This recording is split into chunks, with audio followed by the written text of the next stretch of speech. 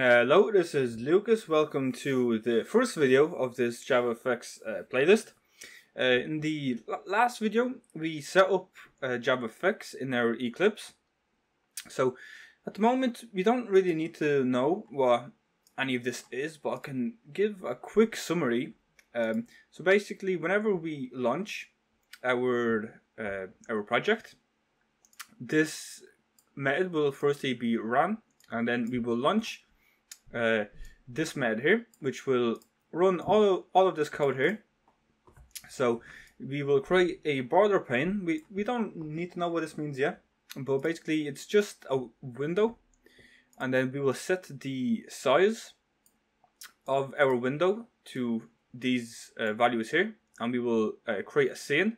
Now a, a scene is basically, it's the current window that we were on, but we can add a lot of other panes in, into that scene. Right, so our scene is like the main window. So if I run this, this is the main scene right here. Alright, so we have one scene. Alright, um, here we're just adding um, a CSS uh, file in here that we can add any CSS that we, that we want. Okay, and then we are just setting our stage right? We are setting our stage to the current scene that we have set, and then we are just displaying it. This is what the show means, right? Display. But now we're gonna be adding a label into this. So the very first thing that I want to do is this border pane. I want to uh, replace this with a stack pane, right? So let's do let's do stack pane. Then we're gonna do the same thing here. Stack pane. We want to import this one, right? And now I'm actually gonna I'm gonna copy this because we're gonna remove it here, and I'm gonna add it after our class. Ooh. Right, just gonna add it here, and we're going to make this static as well. Right. So once we have that done, what I want to do is I want to call a different method, right? So let's call a method. I'm gonna just name it load and then we will create another method here. So we just do. Public void load. Right just like that. So basically what's going to happen is after everything loads up we're going to call this method that's going to add uh, our label okay? So we can add our label now in here. So uh, the way we'll do that is we'll firstly we'll we'll have to create our label. So we'll just do label. Then we can just give it any name. So I'll just do uh, my label and then we will equal this to new label. And then we can set the text that we want for our label. So I'll just set uh, hello world.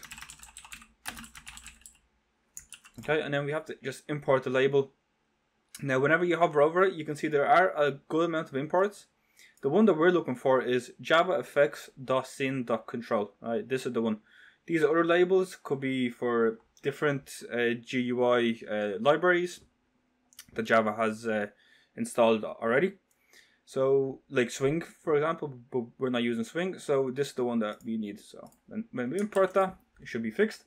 And now we need to add this label into our uh, into our window, right?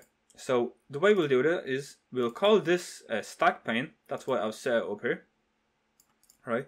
We we will call this so we'll do root dot get children.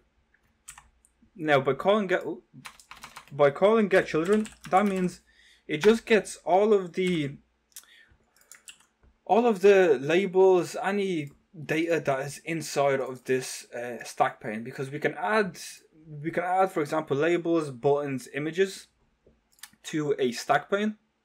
So what we're doing here is we're just getting all of those elements that is added in this uh, pane.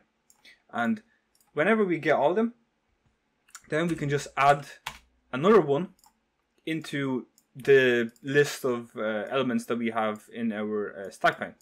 And just by doing that, now we can run this. And you can see we get uh, the text hello world displayed right in the middle of our uh, GUI.